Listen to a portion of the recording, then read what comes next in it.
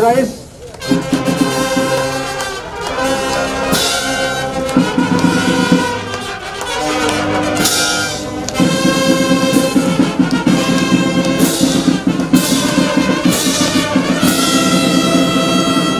Thank you very much, Your Excellency.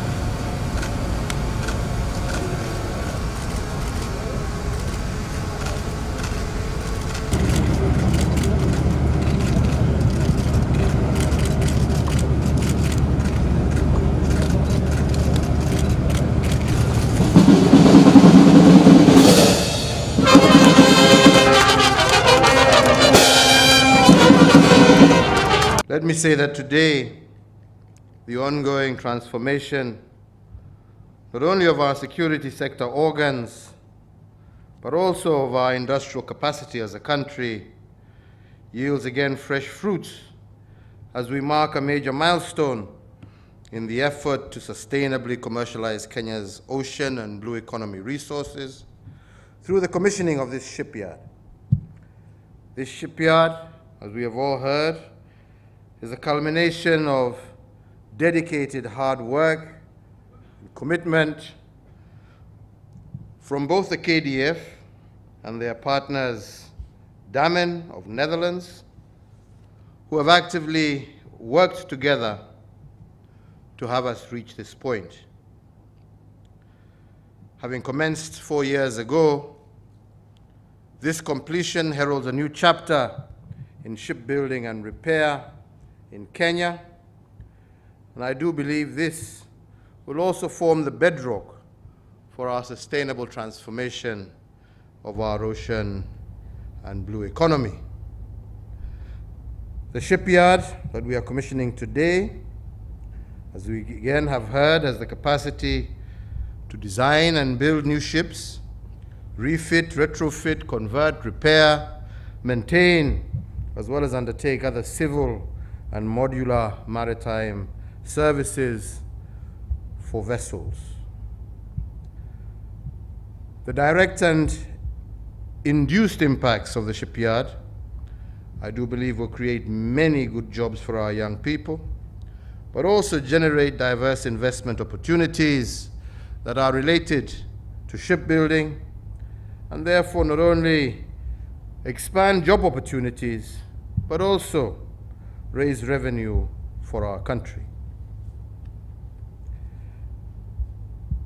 As one of the Kenya Shipyard's limited, facility, uh, uh, limited facilities, the shipyard, again as we have been told, will also serve public and private commercial shipping interests, not just here in Kenya, but in the East Indian Ocean Rim and well beyond. This is really a great shot in the arm for our quest to enhance the contribution of the blue economy to our national development. Other subsectors of the blue economy, which include maritime transport, logistics, fisheries, as well as shipbuilding and repair, I do believe represent low hanging fruits that must be exploited by our country. However, we must be truthful that the potential for leveraging this sector is largely inhibited by shackles that we ourselves have placed on it, including failure to keep abreast with changes in markets and practices. This is an untenable solution, quite apart from rendering us regionally and globally uncompetitive. It locks out our people from exploiting and benefiting from this sector. This is the case even where we have historical and contemporary competencies which have been left idle to our detriment as a country. And we are therefore challenged to tear down these constraints, including all unnecessary and incompatible tax and regulatory burdens, so that this sector is unleashed to thrive and grow. So today, through UCAS, I direct the Cabinet Secretary of the National Treasury and Planning, in conjunction with General Mwathethe, the head of the Ocean and Blue Economy Office, to immediately convene and to coordinate all the relevant agencies of government and to deliver on the following. The first of these is a comprehensive national seafarers training program that is designed to produce at least 4,000 suitably qualified seafarers and a suitable cabotage regulations aligned with those of the East African community and the African Union. The second is we want an open ship register and a ship repair and building uh, incentive package. The third is a ship bunkering and channeling package that provides modalities for ensuring robust oil bunkering for ships, both domestic and foreign, calling on our ports, and also those passing through our oceans.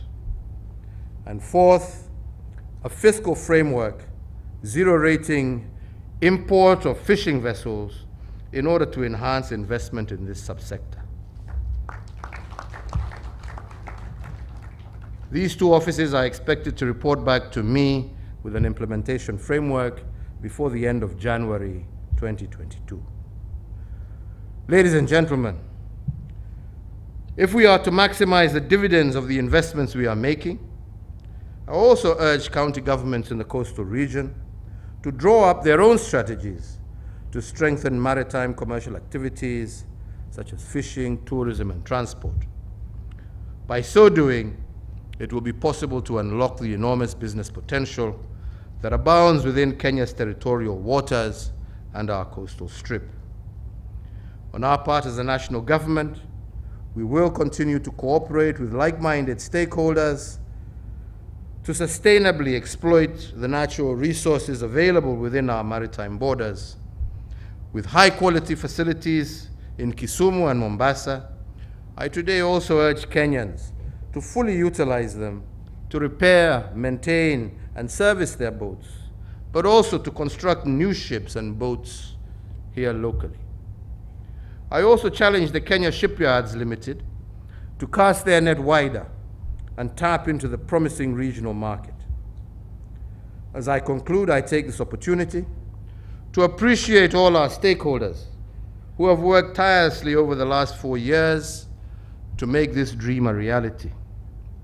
The Kenya Defense Forces, Damen, who are their strategic partners, as well as all other stakeholders, have delivered a world-class shipping yard, not just within budget, but also ahead of schedule.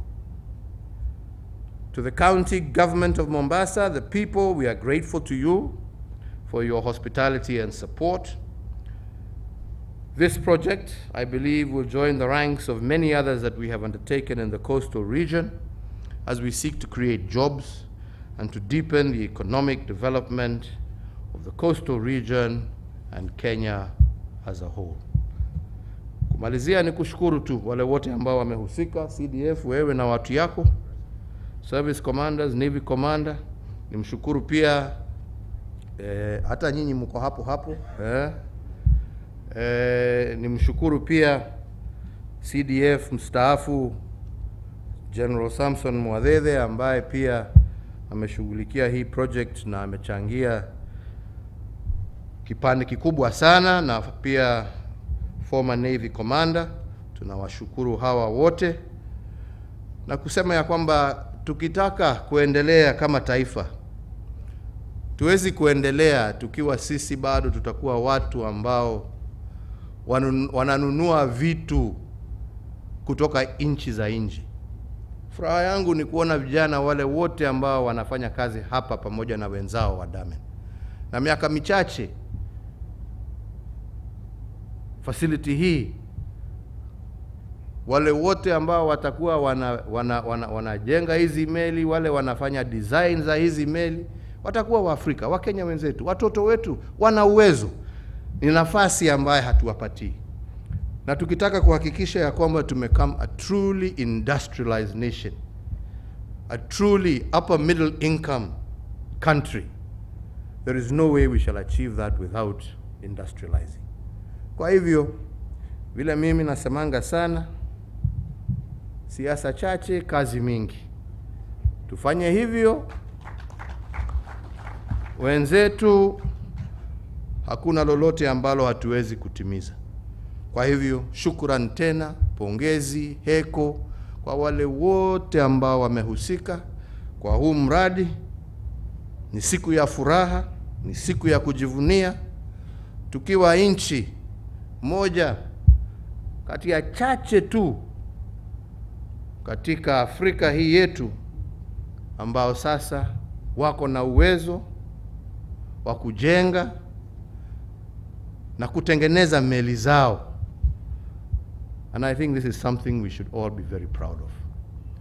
Kwa hayo machache na mengi, mimi nasema muwe na sikukuu njema. Hongera tena kwa wote, na mwaka ujao uwe wafanaka na baraka nyingi na amani nyingi kwa wananchi wote wa Kenya. Asanteni sana.